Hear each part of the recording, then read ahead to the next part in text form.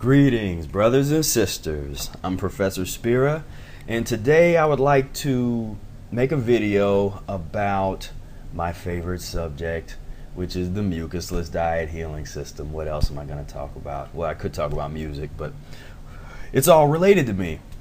But this will be the second in a series of videos on what kind of foods do people that practice the mucusless diet healing system eat on a regular basis? Without further ado, what would I like to eat? Now, this is just off the cuff. I'm not, I didn't put this together beforehand or anything like that. So let's just explore together, shall we? Strawberries have been delightful this year. They have been very tasty. They smell wonderful. And strawberries are a fruit that I can smell as soon as I walk in the door of a supermarket. I can tell you if the strawberries are fresh and ready to eat. I can smell them all the way at the front of the entrance. Sometimes I'm competing between fried chicken and turkey and some nasty things, but strawberries really, really are tasting good this year. And I'm putting them in a lot of juices. So I like to, if they're good enough, I like to add them to juices. I usually don't have a lot of mono strawberry meals. I tend to combine them with other things, add them to blended items if I make some kind of smoothie, banana. Uh, I like banana, strawberry smoothies with some kind of juice. I add maybe grape juice to it or something like that. But some nice smoothies uh, and juices are what I tend to do with strawberries. But it's a wonderful, wonderful fruit when it when it's ripe, when it tastes really good. Speaking of bananas. Bananas. Now, main thing, which I've said in other videos about bananas, are you want to have ripe bananas. You want them to have little black dots on them. See, all these ones really on this picture here are not ripe enough for me. I want ripe bananas. In fact, let me type in ripe. See, this is what I'm talking about. I want to see black dots on. This is ready. I want to see the black dots on it. This one might be just a little bit, because I don't like them totally black. So that's a little, a little bit too much for me down here. These would be cool. This would be like the last day. The day after this, it'd be a little bit too much. Uh, these would be perfect this is real perfect. Perfect. Now, this is an interesting graph. There's a lot of people eat bananas here because this is where they sell them at the store. They sell them here. But I definitely eat them when they're here. And I'll usually buy ones that I see that look like this. I might buy five of them like this and then buy five other ones that are in this range so that several days later I can eat these and I can eat these immediately. Bananas.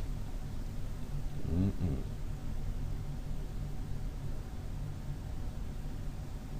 This is baked banana here, I think. Oh, well, I guess I don't know what they're doing. It says upside upside down banana cake, but this is just baked banana, which I actually have a baked banana recipe that will be in my upcoming menu book. A transitional menu if you're a raw foodist and don't want to deal with the baked banana, then you don't have to worry about that one. But for those of us that one, it was really a great. Uh, it was it's a great meal, and it, it's it's cool if you don't have ripe bananas. That's an, that's another thing you can do. But let's see.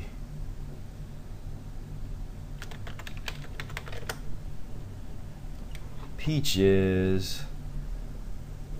I don't get a chance to really eat a lot of peaches because they are often not ripe enough and I cannot eat a not ripe peach. It just doesn't taste good. So I like uh, it's usually only it's rare when I see some good peaches. But if you live someplace else than where I live and they have great peaches, go nuts. Very tasty, good fruits.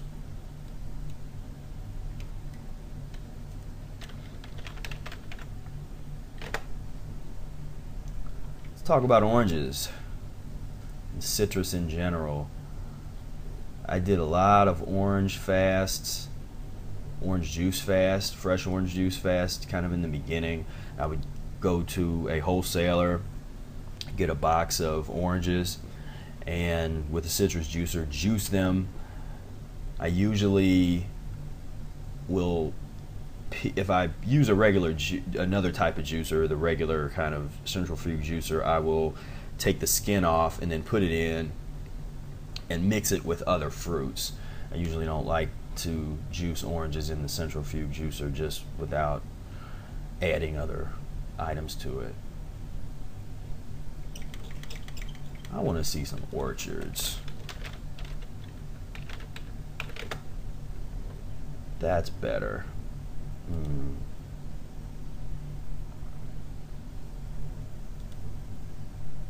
I stole this picture and used it for something. Orange orchards. Valencia, Spain. Hmm. Always got to ruin it. Got to put some mucus in there. Messing with my pictures. So oranges are just I, don't even really have to talk about it. They're they're wonderful again if you can find some good ripe oranges if they're in season, if they're good that year. I had about a there was about a month of good oranges this past year. I think January the oranges tasted pretty good. January and February I think is when I bought cases of oranges this past year. And orange juice fasting is pretty aggressive. It's, it's, it's a fairly aggressive fast, especially depending on what your physiology is doing. Minneolas. These are really tasty. I like. Now, what is this doing here? Ugh. Mm.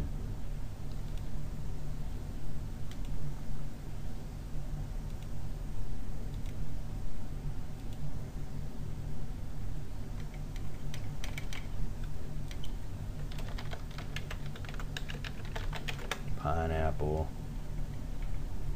Now it's a shame that we can't find, or it's, or it's pretty hard to find ripe pineapples, particularly in the, most of the United States, as far as I know.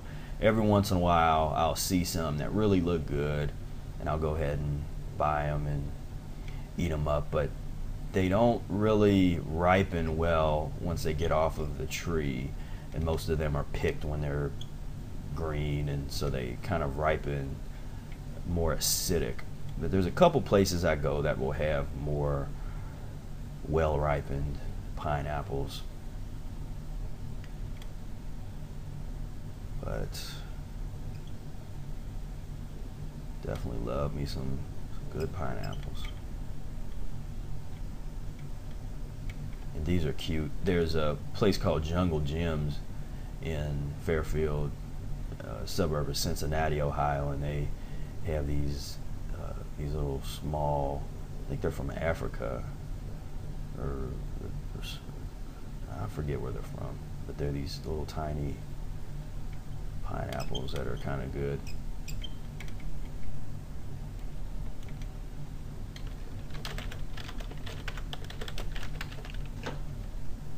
Get ready. Honeybell tangerines or tangelos. My aunt usually buys me a couple cases of these every year as they come out in December, between December and January. And they are incredibly juicy. They actually send you a bib. They'll send a bib in the case. And just as a kind of a joke, you know. But they're kind of serious because they really are that juicy.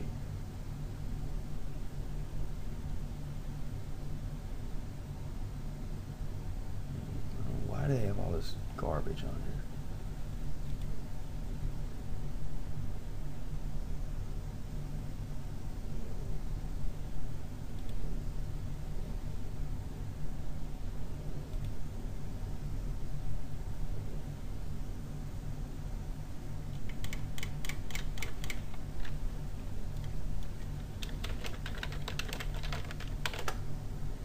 Mission figs. I ate a lot of these over the years. I like to combine them with grapes. They are in the earlier stages of the diet, they tend to have a more laxative effect, especially if you have more waste in your intestines. Later on down the road, they just felt like total natural food, I wouldn't have a more laxative effect than eating anything else uh, while eating them. You usually want to avoid store bought stuff uh, or the stuff in a bag. Uh, maybe this one doesn't, but some brands will put this extra sulfates and all this kind of stuff in the bagged ones but I will tend to go to Whole Foods or someplace like that and get the bulk figs. Whenever I get in a fig mode, I'll get the bulk or have them from from the bulk. Sometimes they'll pre-package the ones that are in the bulk, but basically they're not sprinkled with any kind of sulfates and all these weird preservatives. Now this, yes, Sun-Maid definitely has preservatives and stuff in it. So I would uh, steer clear. Now, if there's you don't have access to anything else, and that's all you know, you're in this remote place where all you have access to is that, and you're beginning your transition. You got to do what you got to do. That's one of the things that probably a bit different with our message and other folks. It's very survivalist in nature. And what I mean by survivalist is you do what you got to do if you gotta buy something that's not organic, if you gotta, sometimes you get some store bought juice, sometimes you have to get something that has some whatever, you know, in a bag. Uh, you do the best you can with the resources you have in the area that you are. You just do the best you can do. And you don't get hard on yourself. You just keep moving forward and you problem solve. You try to find ways to always get what you want, get what you need, and move toward that. And sometimes that means totally changing your perspective about life, totally changing your habits. So I think we will look up one more item. About dates? Now, I'm a fan of medjool dates in particular. Dates are not the greatest detoxifiers. I wouldn't fast on dates. What in the heck is going on here? Oh, this is insane. Dates with eggs. All right, now we're, we're trying to keep this positive. This is a positive, feel good video, so let me not get sidetracked on some insanity. So, medjool dates, very tasty. I like to combine dates sometimes with banana if I'm in that mode. It's, of course, that's incredibly sweet, but uh, banana and dates. Ugh. Mm.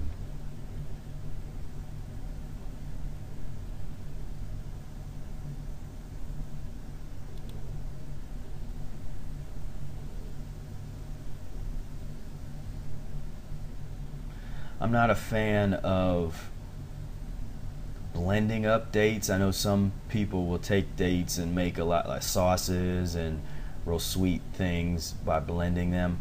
I'm really not into that type of thing. Uh, I like to eat. I either like to eat stuff or juice. I do blend occasionally, but it's not a daily thing. Juicing is a daily thing for me. And if I'm eating, then I usually go between eating raw fruits and vegetables. And on the other side then there will be a lot of you know fruit juices is my favorite. I don't juice vegetables as much but i do get into vegetable juices. But uh, i'll get more into some of that another time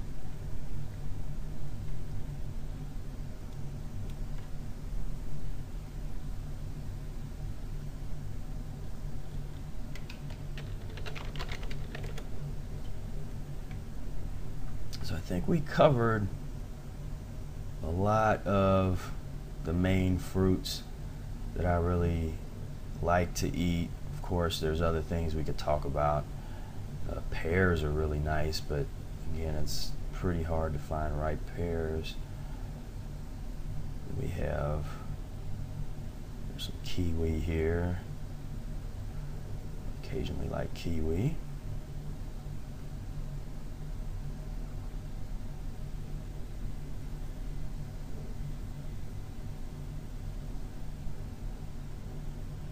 So that will do it for this video. I hope that you have enjoyed it and got something from it. And I will talk with you very soon. Peace, love, and breath.